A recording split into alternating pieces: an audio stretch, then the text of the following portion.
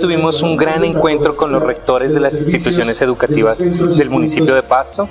Eh, una de las cosas que estamos haciendo en esta ejecución del proyecto Pasto Vive Digital es comenzar a identificar quiénes van a ser los beneficiarios, que sea de una manera abierta, de una manera transparente, de una manera eh, colaborativa y hemos encontrado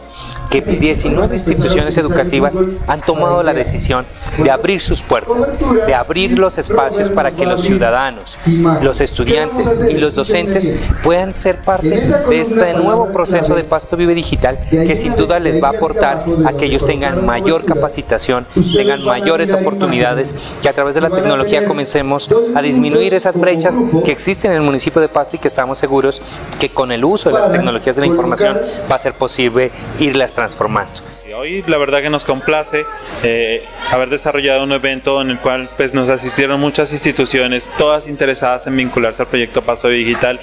Eh, con esta vinculación ellos reciben o se acercan, acceden a unos beneficios del proyecto como es el fortalecimiento de su conectividad. Con estas instituciones pues viene un trabajo eh, articulado, eh, un trabajo en el cual necesitamos que ellos pues sean realmente unos catalizadores, que impulsen las dinámicas al interior de las comunidades educativas para que tanto los estudiantes como los docentes, los padres de familia y la comunidad educativa y comunidad circundante de las instituciones participen en los procesos de formación y capacitación para apropiación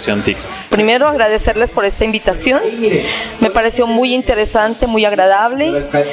eh, muy motivadora por cuanto nos han expuesto un proyecto que es de gran interés para, nuestros, para nuestras instituciones y obviamente para nuestros estudiantes. Atendemos instituciones de alta vulnerabilidad, pero afortunadamente con unas opciones tecnológicas muy, muy interesantes. La articulación que viene desarrollando la administración municipal en cabeza del doctor Harold Guerrero, alcalde de la ciudad ciudad de Pasto ha permitido articular el sector educativo, un sector muy importante,